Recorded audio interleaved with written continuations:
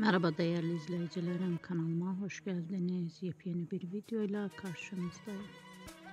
Türkiye'nin en çok izlenen izleyiciler tarafından sevilen Adını Sen Koy dizisinin başarılı oyuncuları İrkan Meri Çazal Subaşı'nın yepyeni karelerini sizlere sunmakta devam ediyor.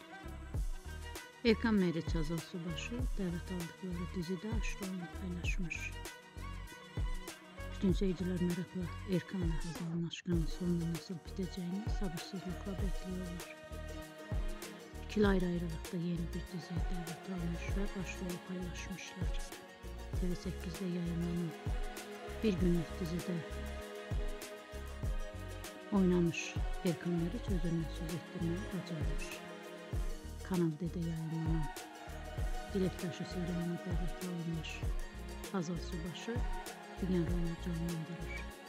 Eğer sizler de diziyle ilgili yeni gelişmelerin alındaca haberler olmasını istersinizse kanalımıza abone olmayı ve buton düğmesine basmayı unutmayın. Sağlıkla kalın.